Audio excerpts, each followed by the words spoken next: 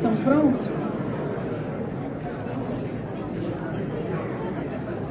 Boa tarde a todos. Eu gostaria de começar essa coletiva de imprensa com Gênesis 2, 3. Abençoarei aqueles que te abençoarem e amaldiçoarei aqueles que te amaldiçoarem. Deus disse a Abraão em Gênesis. Esse pedido de impeachment vem num momento muito difícil da história do mundo, da história de Israel, da história cristã. E nós nos sentimos extremamente envergonhados de ver que o presidente dessa nação não respeita a outra nação, não mantém neutralidade na guerra. Mas antes de qualquer coisa, a gente quer dizer que esse pedido não é um pedido ideológico. Esse pedido é um pedido de um crime de responsabilidade que aconteceu de fato e que nós temos a responsabilidade de responder à altura. No, na Lei 1079, artigo 5 1079 do, do impeachment, artigo 5 inciso 3 diz o seguinte: cometer ato de é um dos crimes de responsabilidade cometer ato de hostilidade contra a nação estrangeira, expondo a República ao perigo da guerra ou comprometendo-lhe a neutralidade. Nesse caso, a, a, lei fala aqui ou um dos dois, né? Então qualquer um dos dois já seria suficiente para a gente impetrar um projeto com processo de impeachment. Mas Lula ensejou nesses dois crimes de responsabilidade, tanto na neutralidade, pois não se manteve neutro em uma guerra, como também é, trouxe a possibilidade de guerra para o país. Algumas pessoas podem perguntar, mas vocês têm medo de Israel? De forma alguma, não temos medo de Israel. A gente sabe que o máximo que Israel vai fazer é cortar relações comerciais com o Brasil, que já seria muito grave, que meus colegas falaram sobre isso.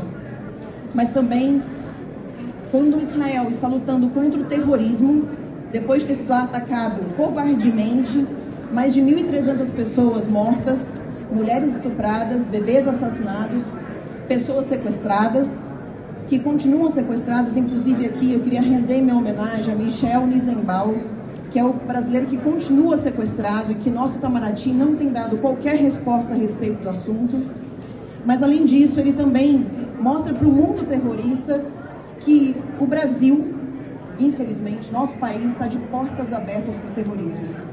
Infelizmente digo porque é de uma irresponsabilidade falar isso, mas afinal de contas, se Israel está lutando contra o terrorismo e Lula fala contra Israel, ele está mostrando para o mundo terrorista que os terroristas são bem-vindos aqui.